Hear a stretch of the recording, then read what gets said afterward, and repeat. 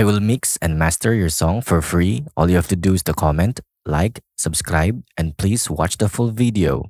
What is up guys? In today's video is all about efficiency in FL Studio by using shortcut keys. Ito yung mga favorite shortcut keys na palagi ko ginagamit every time nagmi-mix ako ng kanta. Alright, so let's get started.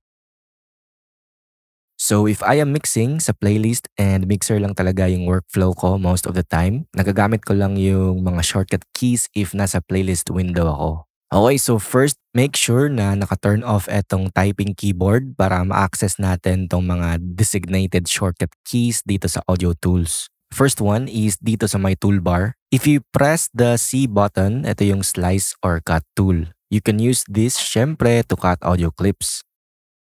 Pressing the T naman is for the mute tool. Self-explanatory. Hit mo lang ito if may i-mute kang clips. Next is pencil or draw tool which is itong letter P. Dito lang nakatambay palagi yung cursor ko while nagmi-mix ako kasi I can drag or move the audio quickly pag nasa draw tool ako. Now you can access the toolbar by holding right click plus mouse scroll or F3. Control plus M to activate or deactivate metronome. Still can believe that you're here now, with me. Still can believe that a woman like you do exist. You were the top that I'm.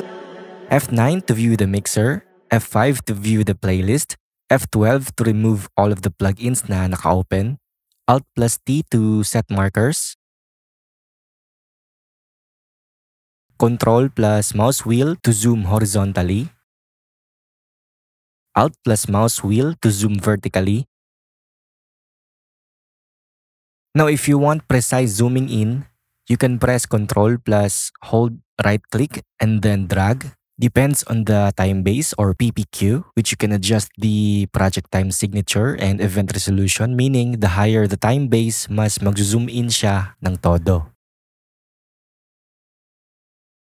Next is Control plus right click. This is to activate the bird's eye view or it will zoom out on the entire open window. Tas pwede mo din siya i-click ulit and then it goes back exactly to the view you had before. Right click plus A to auto name or auto color the track. So to rename, meron akong three ways. Shift plus click track or right click plus R or F2. So to group etong tracks, Shift plus G. This is very useful sa pag-copy ng hook just like this.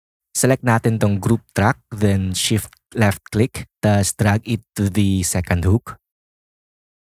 So sa pag-ungroup naman is select the group track and then Alt plus G.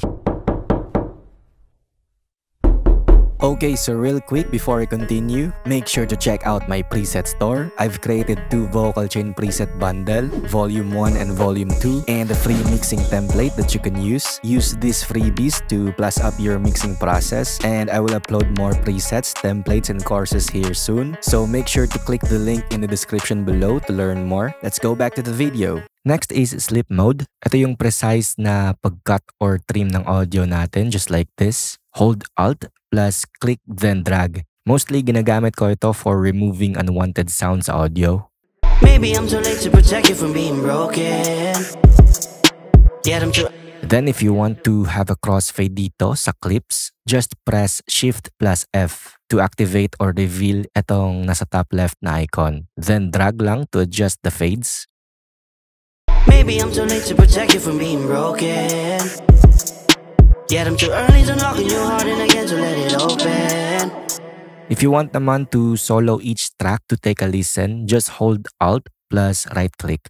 And now stay with me. Still can't believe that I'm the top that a man couldn't ever resist. Because everything, everything, that I've been looking for, babe. Don't ask me what I really want, cause I want all of it. Don't To delete a track, right click plus E.